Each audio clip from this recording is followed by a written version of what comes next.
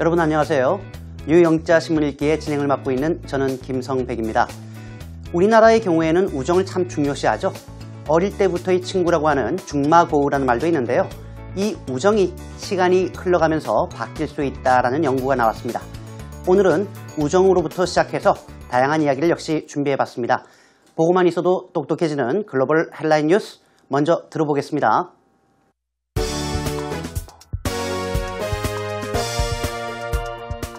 Friendships change in adulthood. Taiwanese woman may face hefty bill for U.S. plane birth. Rain produces rivers of trash in Lebanese capital. China, angered over warship patrol near artificial islands, warns U.S. not to create trouble.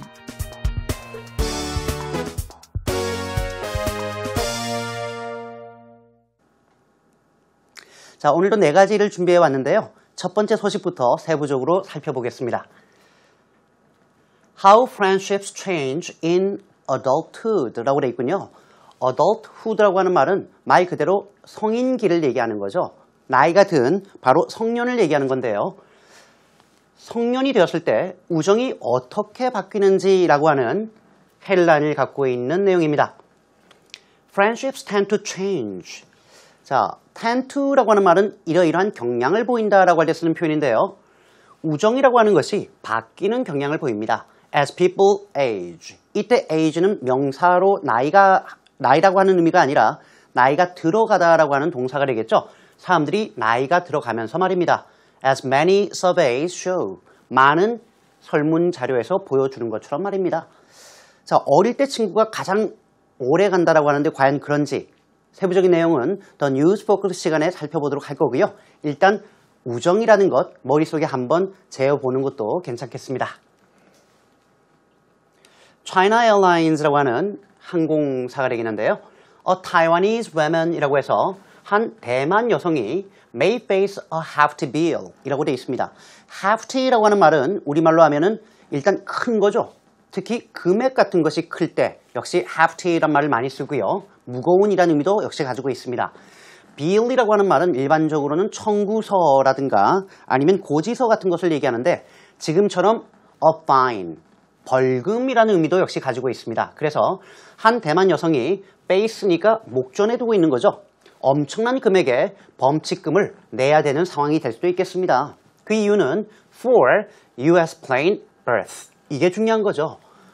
미국으로 향하는 비행기 내에서 이것만 봤을 땐 미국 비행기인지 미국으로 향하는 비행기인지 모르겠습니다만 일단 둘 중에 하나겠죠. 미국으로 향하는 비행기거나 아니면 미국 비행기거나 어쨌든 그 안에서 birth, 출산을 했기 때문입니다. 아니 비행기에서 출산을 했는데 갑자기 벌금은 왜 나올까라는 의문이 들 수 있는데요. 세부적으로 보면 이해가 가실 겁니다. A Taiwanese woman who gave birth on a flight to the US. 아 그렇군요. 미국으로 향하는 flight, 비행편에서 give birth, 정말 많이 썼던 표현이죠. 출산을 하다라고 할 때 쓰는 표현인데 출산을 했던 대만 여성이 could face a hefty bill, 엄청난 금액의 범칙금을 내야 하는 상황이 될 수도 있겠습니다. 그 이유는 단지, 단지 아이를 낳기 때문이 아니라요. for forcing the plane to divert to Alaska 라고 되어 있습니다. Force는 원치 않는 상황에서 어떤 강제로 할 수밖에 없는 상황을 만든 건데 이 비행기가 알라스카로 divert, 방향을 바꾸다 혹은 우회하다라고 할 때 쓰는 표현입니다. 그래서 알라스카 쪽으로 방향을 바꿀 수밖에 없었기 때문입니다. 우리나라에서도 보도가 되었던 내용입니다. 한 대만 여성이 미국으로 가는 비행기 내에서 출산을 했습니다. 처음에 전해질 때는 다행히 안에 있었던 의사와 승무원들이 잘 도왔다라고 해서 훈훈한 이야기로 끝나는 줄 알았더니 알고 보니까 미국의 원정 출산을 위해서 가는 여성이었고요. 개월수를 속여서 만삭이었는데 아닌 것처럼 하다가 결국 비행기에서 아이를 놓은 겁니다. 그것도 비행기에서 안 낳겠다. 미국에 들어왔느냐 이런 얘기를 계속 하다가 나왔는데 결국 대만으로 쫓겨갔죠. 이번에 이 문제가 불거지면서 비행기에게 큰 피해를 많은 사람들에게도 피해를 발생시켰으니까 벌금을 물리도록 하겠다라고 하는 얘기가 나왔다라는 소식으로 보시면 되겠습니다. 원정 출산 좋아하는 사람들이 참 많은가 봐요. 자, rain produces rivers of trash. 여기까지 일단 끊어야, 끊어야 되겠는데요. rivers는 강인 건 알겠고요. trash라고 할 때 쓰는 말은 이거는 쓰레기를 얘기하는 겁니다. 그러니까 직역을 하자면 비가 쓰레기의 강을 만들어내고 있습니다. 어디에서요? In the Lebanese capital 이라고 해서 레바논이라고 하는 나라의 바로 수도입니다. 그러니까 베이루트가 되겠네요. 베이루트에서 비가 와서 소위 쓰레기의 강이 만들어졌다라고 하는데 어떤 내용인지 AFP 통신의 이야기를 한번 들어보겠습니다. 보시죠. Streets in parts of Lebanon 이라고 해서 레바논이란 나라의 일부 지역에서 streets, 거리가 turned into rivers of garbage라고 되어 있습니다. A turns into B라고 하면 A가 B로 바뀌다 라고 할 때 쓰는 표현이죠. 그래서 garbage란 말도 위에 나왔던 trash와 같은 말이니까요. 쓰레기의 강으로 바뀌게 되었습니다. 그러니까 일단 길거리가 쓰레기, 그것도 쓰레기를 많이 함유하고 있는 강으로 바뀌었다라고 하는 내용인데요. 왜냐하면 as heavy rains wash through mountains of trash. 역시 마찬가지로 wash through. 비가 왔으니까 휩쓸고 내려가는 거죠.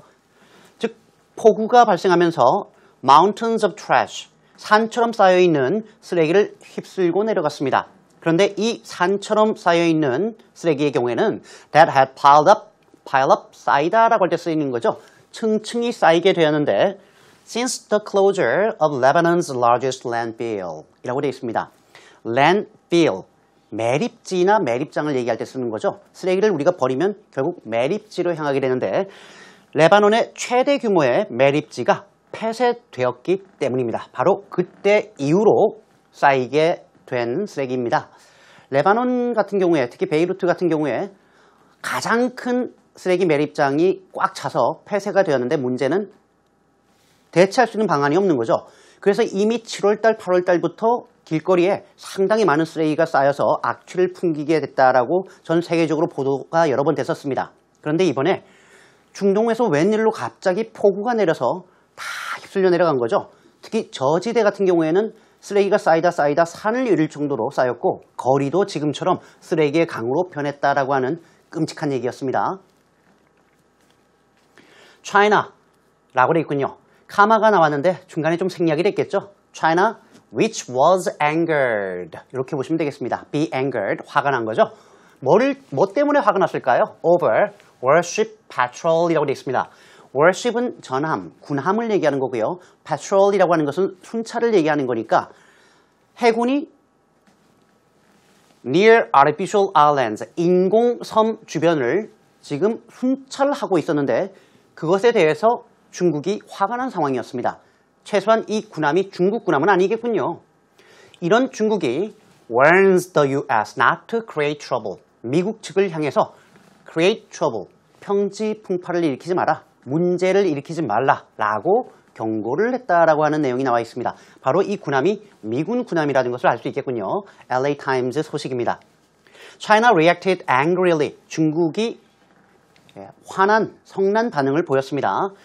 여기서 시기상으로 after가 나왔죠. 이거 이후에. 그렇지만 지금 같은 경우에는 의미상으로는 because라는 말로 보셔도 괜찮습니다. 바로 어떠한 일이 있었기 때문이냐면 a US warship sailed. 미국의 전함이 이 지역을 항해했기 때문입니다. Within 12 miles of artificial islands. 바로 인공섬 12마일.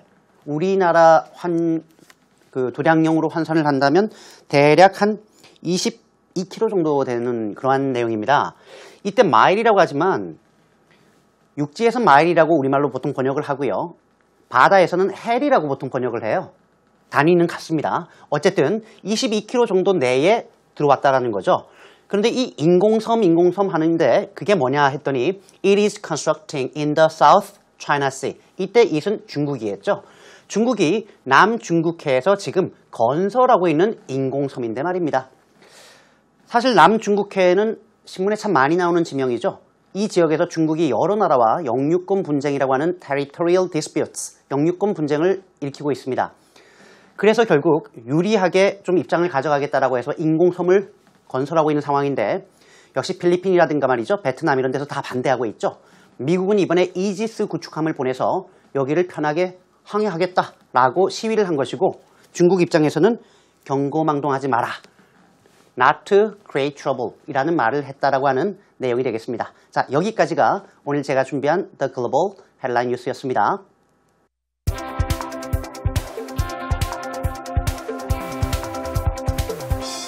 How friendships change in adulthood.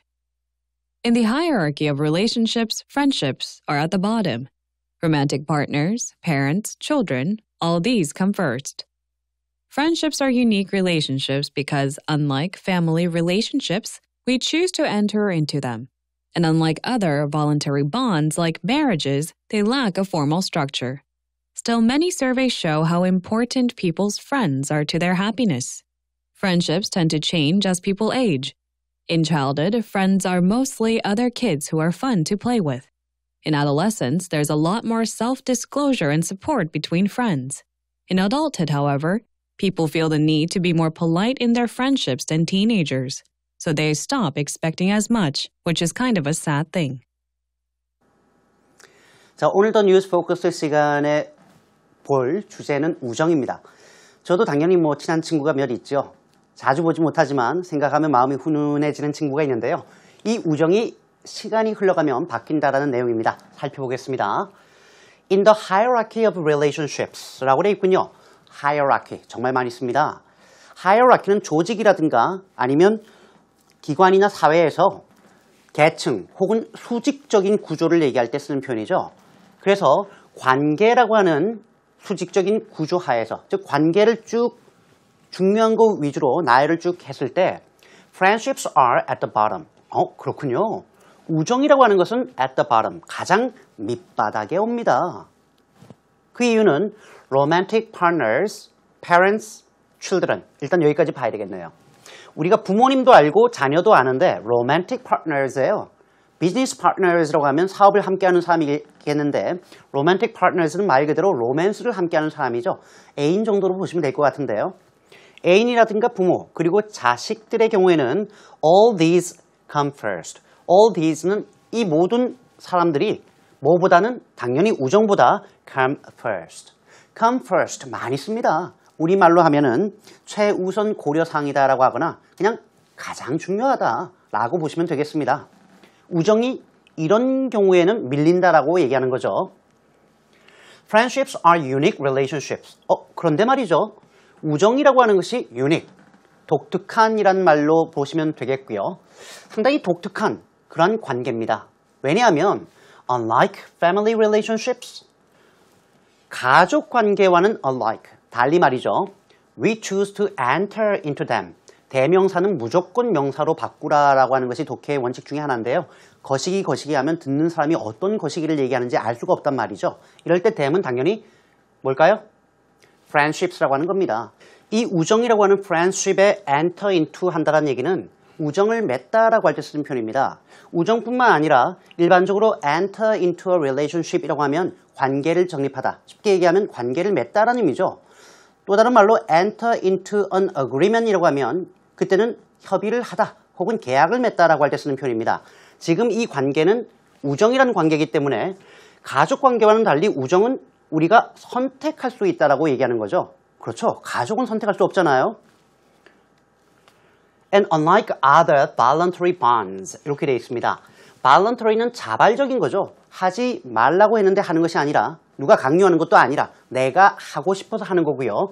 bonds라고 하는 것은 유대 혹은 유대감이라는 의미도 있지만 이것이 계약이라든가 합의라는 말도 됩니다. 그래서 예컨대 like marriages 결혼과 같은 자발적으로 자신이 선택한 계약관계 혹은 그런 관계와는 달리 they lack a formal structure. 이때 they는 역시 앞에 나왔던 우정이라고 하는 것은 공식적인 어떤 구성, 구조는 lack, 부족하다라고 할 때 쓰는 표현이죠. 부족합니다. 그렇죠. 결혼처럼 무슨 신고하고 이런 건 아니잖아요. 친구를 사귈 때 그대 나하고 친구를 하겠는가 이러면서 무슨 계약서를 쓰지 않잖아요. 그 얘기를 이렇게 하고 있는 겁니다.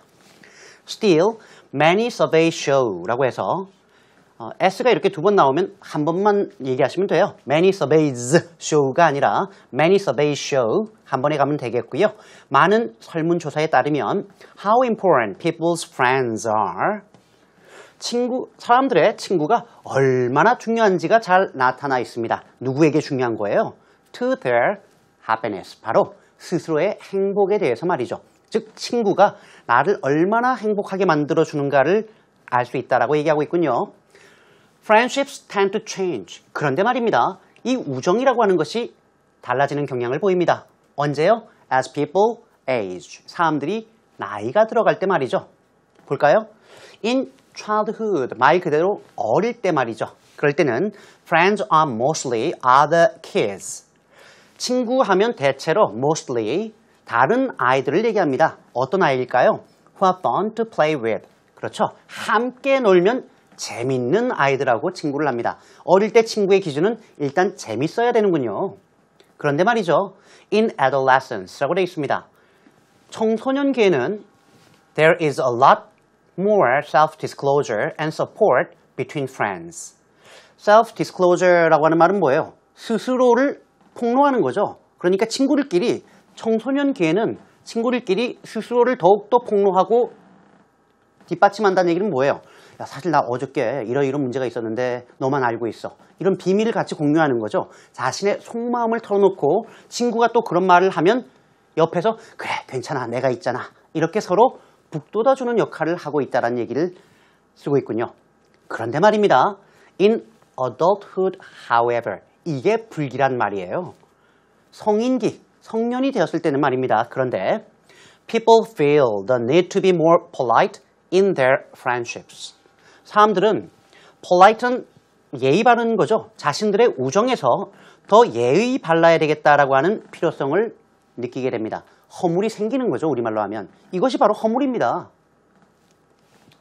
옛날처럼 허물이 없는 관계는 아닌 거죠. 언제보다요? Than teenagers. 10대 때보단 말입니다. 따라서 so they stop expecting as much. 뭐가 생략됐을까요? 생각해 보세요. as가 나왔다는 얘기는 뒤에 as가 올 수 있다는 얘기인데요. 뭐가 생략됐을까요? 따라서 성인들은 as much as in the past 그 정도 쓰면 될 것 같은데요. 과거만큼이나 많은 것을 기대하지 않습니다. 친구한테 많은 것을 기대하지 않아요. 내 마음을 다 털어놨을 때 다 받아주겠지. 그렇게 생각하지 않는다라는 거죠. 문제는 which is kind of a sad thing. 이게 일종의 참 슬픈 이야기입니다. 라고 마무리를 하고 있군요. 아무래도 어릴 때와 나이가 들었을 때 친구를 만날 때 어떤 기준이 달라지는 건가요? 아니면 우리의 마음이 달라지는 건가요? 전체 이야기를 다시 한번 들어보시겠습니다.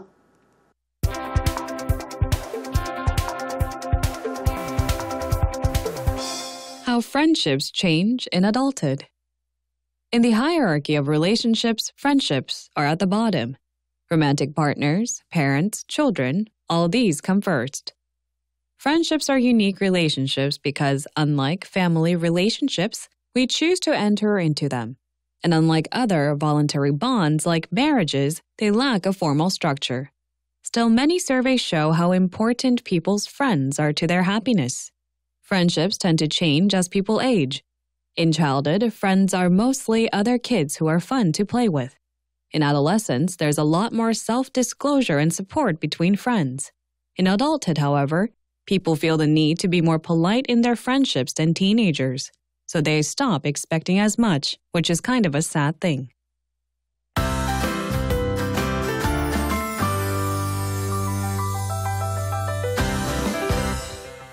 쓰레기 종량제라는 말이 있는데요. 영어로는 the volume rate garbage disposal system. 그래서 볼륨에 따라서 비율대로 garbage disposal, 쓰레기를 처리하는 시스템이다라고 보시면 되겠고요.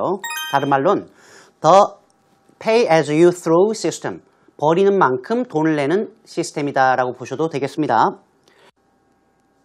얼마 전에 제가 뉴 잉글랜드를 미국의 주라고 설명을 드린 적이 있었는데요.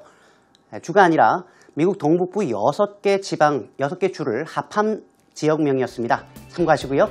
제가 준비한 내용은 여기까지입니다. 여러분 우리 홈페이지에 많이 찾아와 주시고요. 저는 다음 이 시간에 다시 찾아뵙겠습니다. 여러분 고맙습니다.